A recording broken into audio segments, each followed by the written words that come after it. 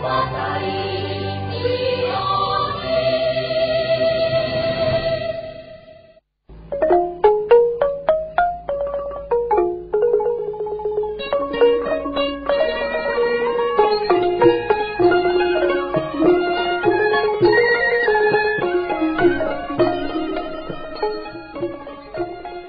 ូមជម្រាបសួរលោកអ្នកនាងដែលកំពុងស្ដាប់កម្មវិធីព័ត៌មាន VOD ថ្ងៃត្រង់ជាទីមេត្រី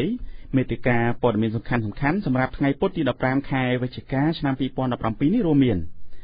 សមត្ថកិច្ចឃាត់ខ្លួនបុគ្គលិកវិទ្យុអាស៊ីសេរី2នាក់អាមេរិកថាជំនួបរវាងលោកហ៊ុនសែននិងត្រាំមិនមែនភ្លេចរឿងសិទ្ធិមនុស្សរួមទាំងព័ត៌មានមួយចំនួនទៀតដែលនឹងជម្រាបជូនលោកអ្នកនាងស្ដាប់ជាបន្តបន្ទាប់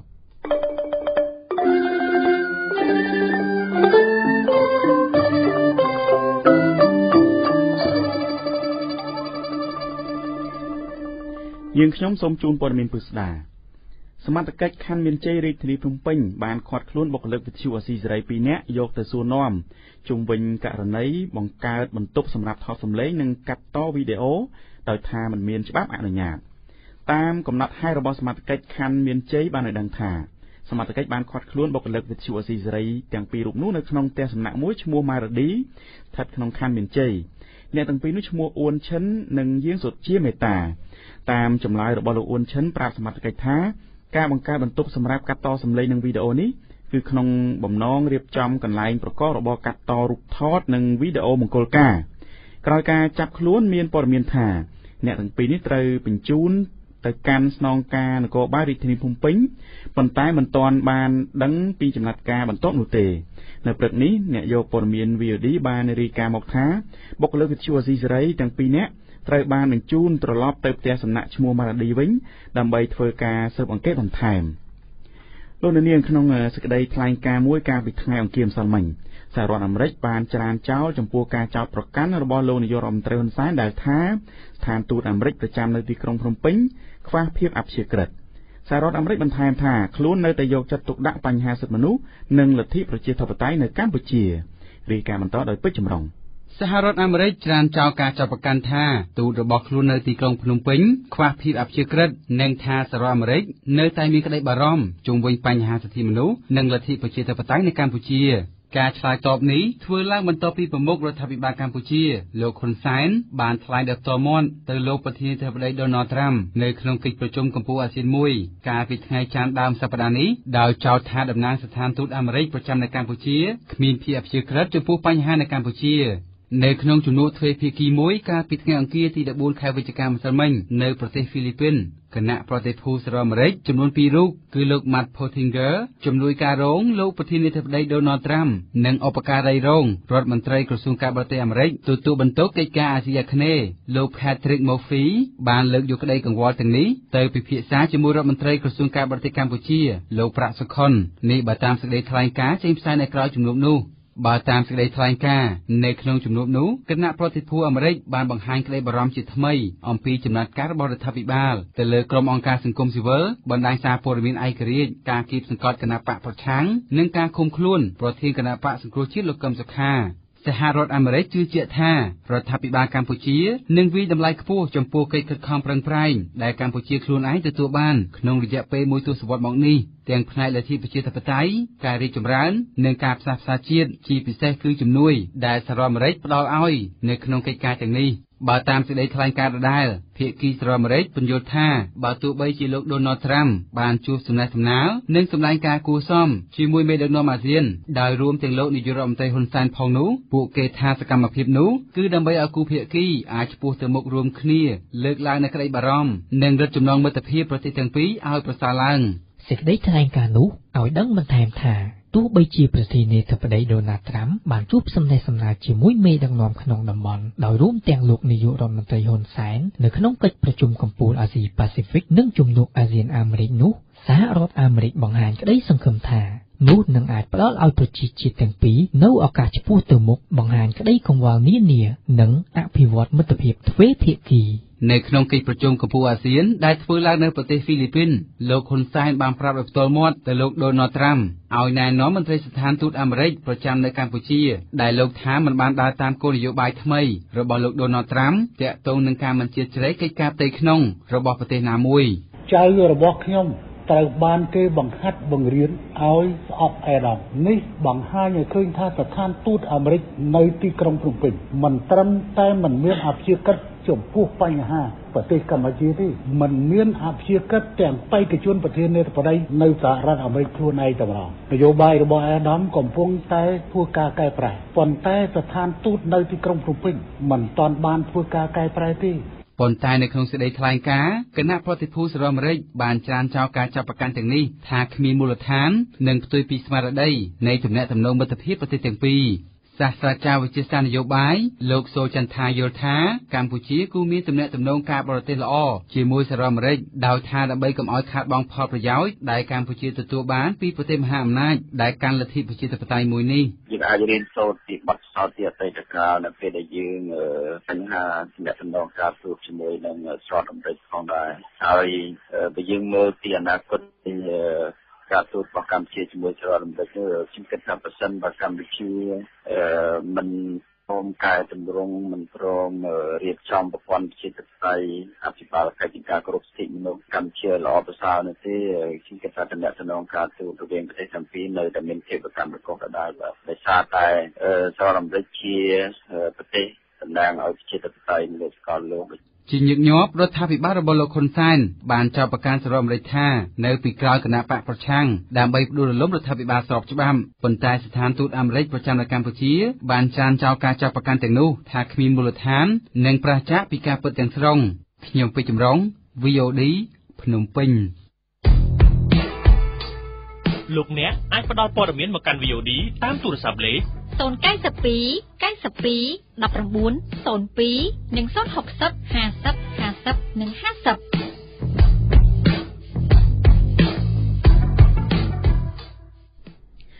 មន្ត្រីជាន់ខ្ពស់នៃអគ្គស្នងការរដ្ឋានគរបាលជាតិលើកឡើងថា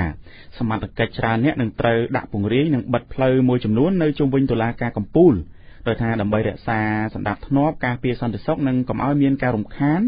នៅពេលបើក តឡាការសាវនាការលើបណ្ដឹងស្នើសុំរំលាយគណៈបកសង្គ្រោះជាតិនៅថ្ងៃស្អែកអ្នកនាំពាក្យអគ្គស្នងការនគរបាលជាតិលោកគៀតចន្ទរិទ្ធប្រាប់វីឌីនៅថ្ងៃពុធទី15វិច្ឆិកានេះថាសមត្ថកិច្ចនឹងបិទផ្លូវមួយចំនួនជុំវិញតឡាការកំពូលដោយថាដើម្បីការពារករណីមានការតវ៉ាណាមួយដែលធ្វើឲ្យរំខានដល់ដំណើរការបើកសវនាការនៅពេល VD សួរថាតើនៅថ្ងៃស្អែកនេះនគរបាលជាតិនឹងត្រៀមដាក់កម្លាំងសមត្ថកិច្ចប៉ុន្មានអ្នកដែរ លោកគៀតចន្ទរិទ្ធឆ្លើយតបថាលោកនៅមិនទាន់ដឹងនោះទេ ដោយរងចាំមើលពីសភាពការជាក់ស្ដែងកាលពីថ្ងៃទី8ខែវិច្ឆិកាឆ្នាំ2017ក្រសួងមហាផ្ទៃបានចេញសេចក្តីជូនដំណឹងមួយដោយបញ្ជាឲ្យនាយកដ្ឋានស្ដាប់ធ្នាប់សាធារណៈបន្ថែមកម្លាំងការពារសន្តិសុខនិងយាមល្បាតសម្រាប់រយៈពេល3ថ្ងៃពីថ្ងៃទី15ដល់ថ្ងៃទី17វិច្ឆិកាគឺចំពេលតុលាការកំពូលនឹងបើកសវនាការលើសំណុំរឿងរំលាយគណៈបក្សសង្គ្រោះជាតិតាមបណ្ដឹងរបស់ក្រសួងមហាផ្ទៃ ការជួលដំណឹងរបស់ក្រសួងមហាផ្ទៃនេះធ្វើឡើងបន្ទាប់ពីនគរបាលជាតិបានរាយការណ៍ថាគណៈបកសង្គ្រោះជាតិក្រងប្រមូលផ្ដុំអ្នកគ្រប់គ្រងរបស់ខ្លួននៅចំថ្ងៃប្រកាសសេចក្តីសម្រេចអំពីជោគវាសនារបស់គណៈបកមួយនេះ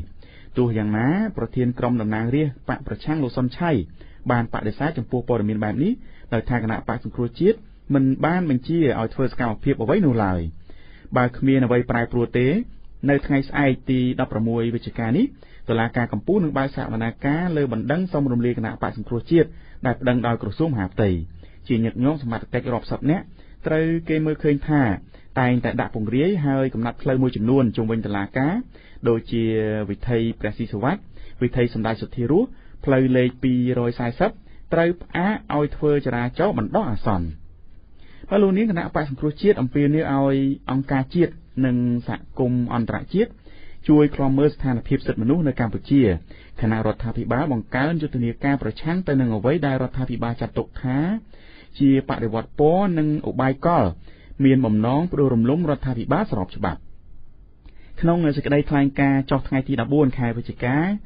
គណៈបកសង្គ្រោះជាតិបានបង្ហាញការភ្ញាក់ផ្អើលយ៉ាងខ្លាំងចំពោះរដ្ឋាភិបាលដែលរៀបចំកងកម្លាំងប្រដាប់អាវុធចម្រុះ ដើម្បីឃ្លាំមើលស្ថានភាពនៅតាមគ្រប់ស្នាក់ការស្រុកនិងខេត្តរបស់គណៈបកសង្គ្រោះជាតិគណៈគណៈបកប្រឆាំងដ៏ធំមួយនេះប្រឈមនឹងការរំលាយដោយអំណាចតុលាការកំពូលនៅថ្ងៃទី16ខែវិច្ឆិកាបើតាមសេចក្តីថ្លែងការណ៍ដដែលគណៈបក្សសង្គ្រោះជាតិចាត់ទុកការរៀបចំកងកម្លាំងរបស់រដ្ឋាភិបាលនេះថាជាចេតនាបំផិតបំភ័យនិងបំបាក់ស្មារតីមកលើប្រជាពលរដ្ឋរដ្ឋមន្ត្រីក្រសួងមហាផ្ទៃលោកសខេងកាលពីថ្ងៃទី13ខែវិច្ឆិកាបានបញ្ជាទៅអាជ្ញាធរពាក់ព័ន្ធ ឲ្យចាត់វិធានការនានាដើម្បីទប់ស្កាត់នៅអ្វីដែលលោកហៅថាឧបាយកលមានបំណងផ្ដួលរំលំរដ្ឋាភិបាលអង្គការ Global Witness និងអង្គការ Human Rights Watch កាលពីដើមខែតុលាឆ្នាំ2017បានចេញសេចក្តីថ្លែងការណ៍ថ្កោលទោសរដ្ឋាភិបាលលោកហ៊ុនសែនបន្ទាប់ពីមានការចាប់ខ្លួនមេដឹកនាំគណៈបកសង្គ្រោះជាតិលោកកឹមសុខានិងការប៉ុនប៉ងរំលាយគណៈបកដ៏ធំមួយនេះព្រមទាំងការបង្ក្រាបទៅលើអង្គការសង្គមស៊ីវិលនិងការបិទប្រព័ន្ធផ្សព្វផ្សាយដែលរិះគន់រដ្ឋាភិបាល ទោះយ៉ាងណាលោកនាយករដ្ឋមន្ត្រីហ៊ុនសែនបានព្រមានសហគមន៍អន្តរជាតិឲ្យបញ្ឈប់ការជ្រៀតជ្រែកកិច្ចការផ្ទៃក្នុងរបស់កម្ពុជាដោយលោកថាអ្វីដែលរដ្ឋាភិបាលធ្វើគឺជាការអនុវត្តច្បាប់ដើម្បីការពារសន្តិភាពលោកនាងពលមានជានៅពេលនេះចាប់តែប៉ុណ្ណេះ VOD ព័ត៌មានឯករាជ្យបើមេតាជំរាបជូនព័ត៌មានអន្តរជាតិព័ត៌មានអន្តរជាតិចាប់ផ្ដើមចេញពី លោកត្រាំជំរុញឲ្យវៀតណាមទិញមីស៊ីលនិងអាវុធផ្សេងៗទៀតពីសហរដ្ឋអាមេរិកប្រធានាធិបតីសហរដ្ឋអាមេរិកបានជំរុញឲ្យវៀតណាមទិញមីស៊ីលនិងប្រភេទអាវុធទំនើបមួយចំនួនទៀតពីសហរដ្ឋអាមេរិកដើម្បីទុកការពារប្រទេសលោកដូណាល់ត្រាំបានថ្លែងបែបនេះទៅកាន់នាយករដ្ឋមន្ត្រីវៀតណាមលោកវៀនស៊ុនផុកកាលពីថ្ងៃទី12ខែវិច្ឆិកាក្នុងពេលដែលលោកត្រាំទៅបំពេញទស្សនកិច្ចនៅប្រទេសវៀតណាមប្រធានាធិបតីអាមេរិករូបនេះ បានថ្លែងប្រាប់វៀតណាមទៀតថាមីស៊ីលរបស់អាមេរិកទំនើបជាងគេបំផុតនៅលើពិភពលោកនេះបើតាមសារព័ត៌មាន Al Jazeera លោកត្រាំក៏បានលើកឡើងករណីនេះទៅកាន់ប្រធានាធិបតីវៀតណាម លោកត្រាន់ដៃខ្វាង នៅពេលដែលជជែកពីបញ្ហាសមុទ្រចិនខាងត្បូងដោយបញ្ជាក់ថាអាចទិញទុកប្រើប្រាស់ក្នុងករណីចាំបាច់ប៉ុន្តែប្រធានាធិបតីវៀតណាមបានថ្លែងថាវៀតណាមចង់ដោះស្រាយបញ្ហាចំនួនដែនសមុទ្រ ជាមួយចិនដោយសន្តិវិធីតាមរយៈការជជែកគ្នា តាមការគ្រោងទុកប្រធានាធិបតីរបស់ចិនលោកស៊ីជីនពីងនឹងធ្វើដំណើរទស្សនកិច្ចទៅកាន់ប្រទេសវៀតណាមនៅថ្ងៃអាទិត្យចុងសប្តាហ៍នេះដើម្បីជជែកពីបញ្ហាមួយចំនួន ហើយក្នុងនោះគេរំពឹងថានឹងអាចមានការជជែកពីបញ្ហាចំនួនដែនសមុទ្រដែលប្រទេសទាំងពីរកំពុងប្រឈមមុខដាក់គ្នាទៀតផងបច្ចុប្បន្នវៀតណាមនិងចិនកំពុងតែមានចំនួនដែនទឹក នៅទីតាំងសំខាន់សំខាន់ចំនួន4នៅសមុទ្រចិនភាគខាងត្បូងកាលពីរដ្ឋការរបស់លោកបារ៉ាក់អូបាម៉ាប្រធានាធិបតីអាមេរិកទី44បានសម្រេចដកទណ្ឌកម្មបំរាមលក់អាវុធឲ្យវៀតណាម បន្ទាប់ពីការទំនាក់ទំនងរបស់ប្រទេសទាំងពីរមានភាពប្រសើរឡើងវិញនៅក្នុងដំណើរទស្សនកិច្ច10ថ្ងៃរបស់ប្រធានាធិបតីសហរដ្ឋអាមេរិកលោកត្រាំទៅកាន់តំបន់អាស៊ី គឺនៅក្នុងប្រទេសជប៉ុន និងប្រទេសកូរ៉េខាងត្បូងលោកត្រាំក៏បានលើកឡើងពីការលក់អាវុធដល់ប្រទេសទាំងពីរនេះដែរគឺដើម្បីត្រៀមទប់ទល់ការគំរាមកំហែងពីកម្មវិធីអាវុធនុយក្លេអ៊ែររបស់កូរ៉េខាងជើងព័ត៌មានអន្តរជាតិមួយទៀតពីប្រទេសចិនបញ្ជាក់ចំហថានឹងបើកសេរីភាពក្នុងការធ្វើចរាចរណ៍នៅសមុទ្រចិនខាងត្បូងរដ្ឋាភិបាលទីក្រុងប៉េកាំងបានប្រកាសការពារសុវត្ថិភាព ហើយផ្ដល់សិទ្ធិសេរីភាពពេញលេញដល់ការធ្វើនាវាចរ និងការហោះហើរតាមផ្លូវអាកាសនៅសមុទ្រចិនខាងត្បូងនេះគឺជាការលើកឡើងរបស់លោកលីកេឈៀងនាយករដ្ឋមន្ត្រីចិនថ្លែងនៅក្នុងកិច្ចប្រជុំបណ្ដាប្រទេសអាស៊ីខាងកើតដែលធ្វើឡើងនៅប្រទេសហ្វីលីពីន កាលពីម្សិលមិញនាយករដ្ឋមន្ត្រីចិនរូបនេះបានថ្លែងថា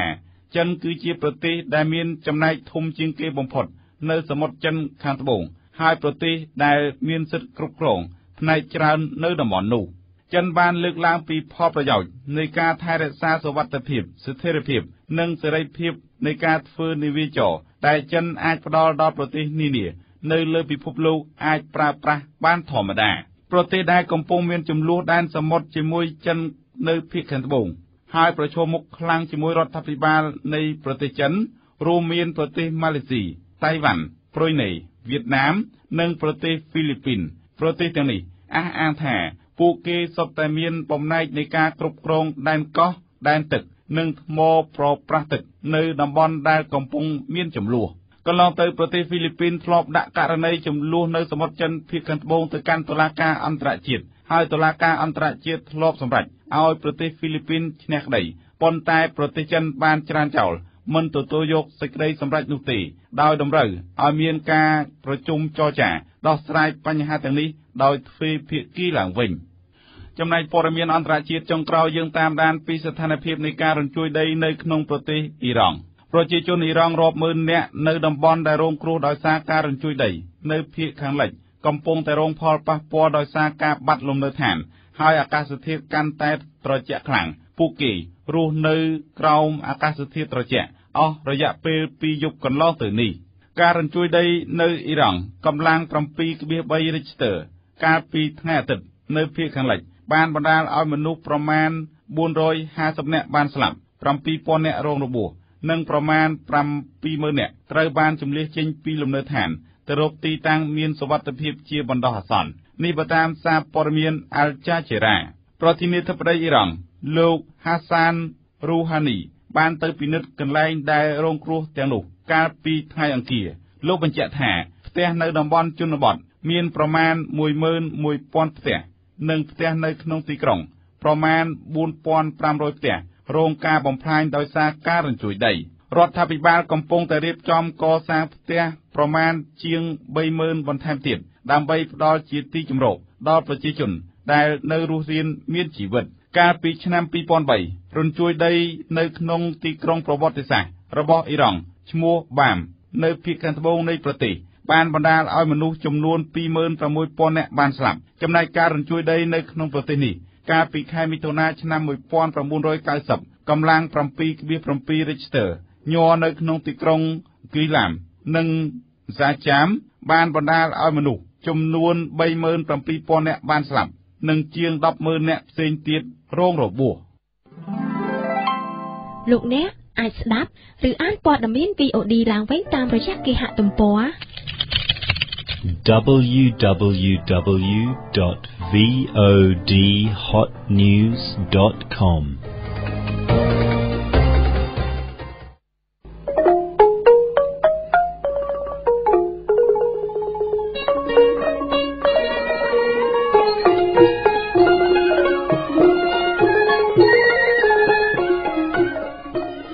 លោកអ្នកនាងស្ដាប់ជាទីគោរពកម្មវិធីព័ត៌មាន VD ថ្ងៃត្រង់ដែលបានផ្សាយជូនស្ដាប់នៅពេលនេះចប់តែប៉ុណ្ណេះសូមរងចាំស្ដាប់កម្មវិធីព័ត៌មាន VD ពេលល្ងាចដល់ម៉ោង6ម្ដងទៀតខ្ញុំបាទហូបពុធីលោកចောက်សុជាអ្នកបច្ចេកទេសផ្សាយរួមទាំងសហគ្រាសទាំងអស់សូមអរគុណសូមជម្រាបលា